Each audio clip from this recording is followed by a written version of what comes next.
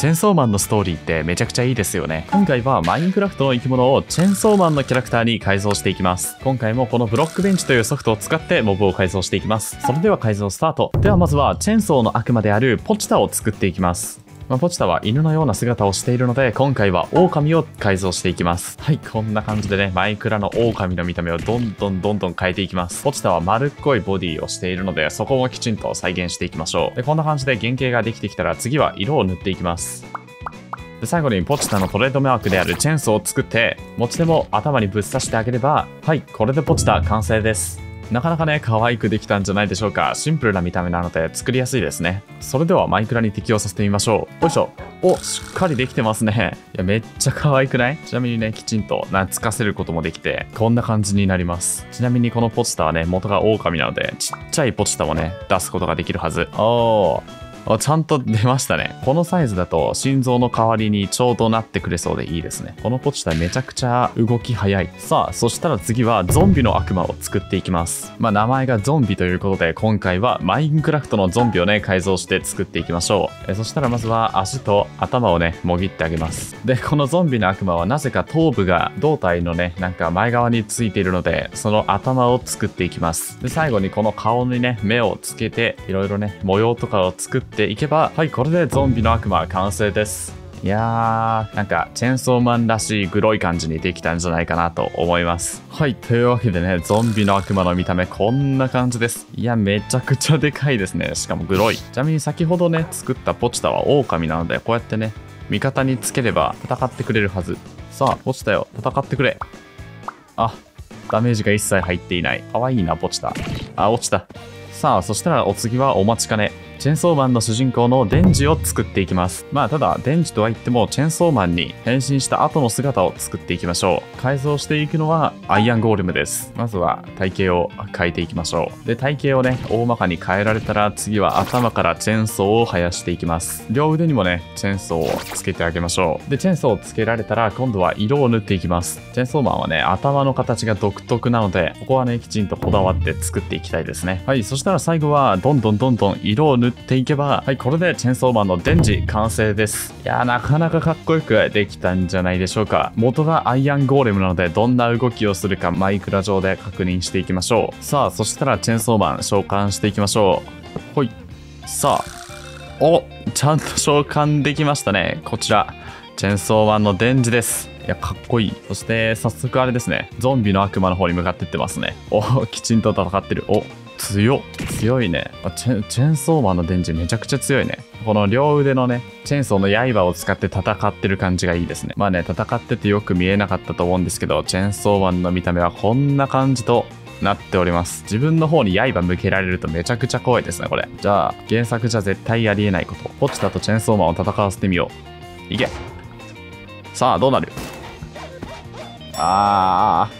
さあ、じゃあちょっとね、戦ってみましょう。いやー、怖いね、これめちゃくちゃ。いけさあ、どうなる？あ、やばい。ちゃんと、この両手のね、チェーンソーの刃で攻撃してくる。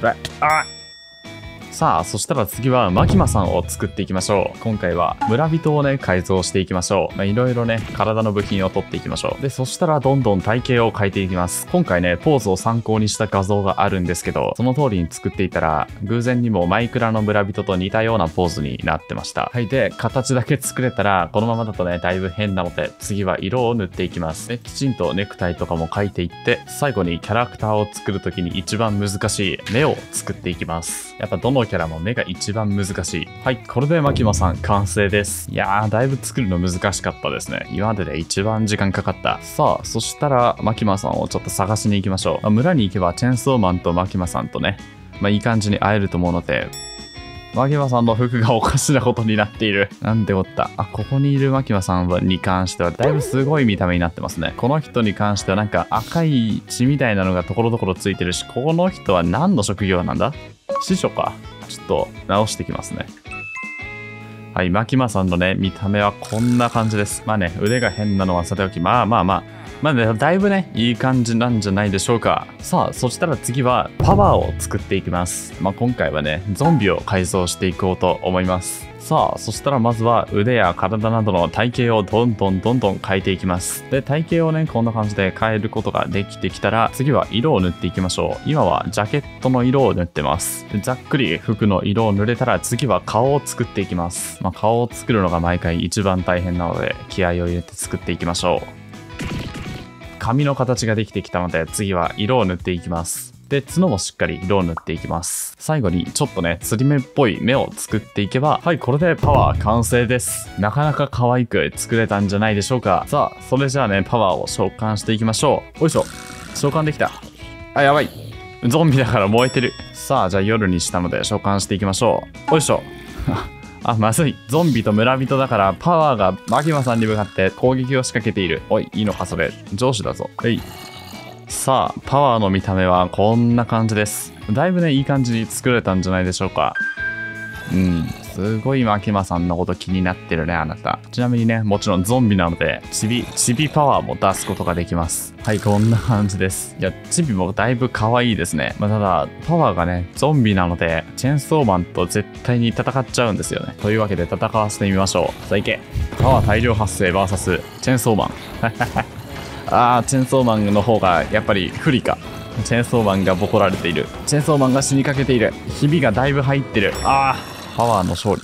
さあ、そしたら次は、狐の悪魔を作っていきます。で、その悪魔は名前の通り、狐の見た目をしているので、今回は狐を元に改造していきましょう。で、まあ、今のところアニメではね、狐の悪魔、頭しか出てきていないはずなので、こんな感じで体を頭だけにします。鼻を伸ばして、頭の大きさをめちゃくちゃでかくしましょう。見た目、やば。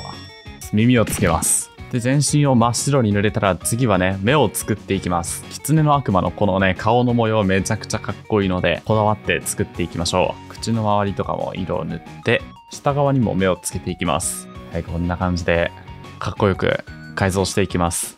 で、最後に上側にも目を作っていって、このね、首のところになんか、もやみたいな感じでグラデーションを塗っていけば、はい、これで狐の悪魔完成です。いや、めちゃくちゃかっこよくない？これ今日作った中で一番好きかもしれない。めっちゃかっこいい。それではマイクラに持っていきましょう。さあ、狐を召喚していきましょう。はい。おおお、すげえ。めちゃくちゃでかくなってる。はい、こんな感じのね、見た目となっています。今、待って。ゾンビ肉を拾ってさ、ゾンビ肉が顎の下にひっついてる。わかるかなこの、これ。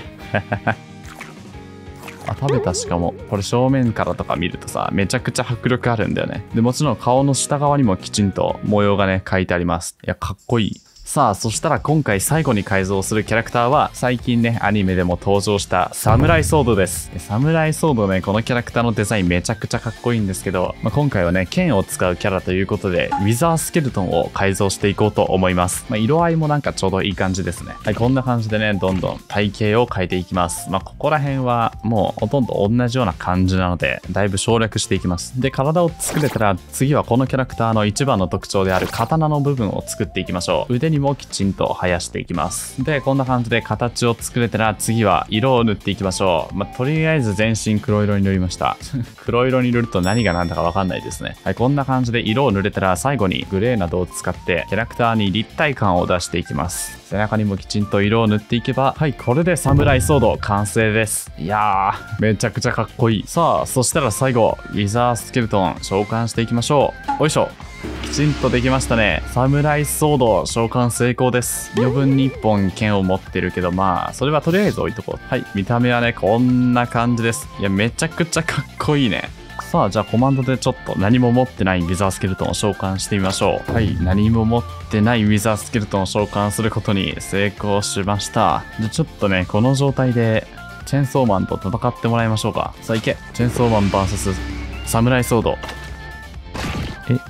こんな一瞬で蹴りがつくもんなの因縁の対決、速攻で終わったんだが、サムライソードを大量召喚したぞ。さあ、どうなる？徐々にチェンソーマンダメージを食らっているが、あの、サムライソードが2発でやられていく。もはや剣を失うとこんなにも弱いのか。チェンソーマンの圧倒的勝利。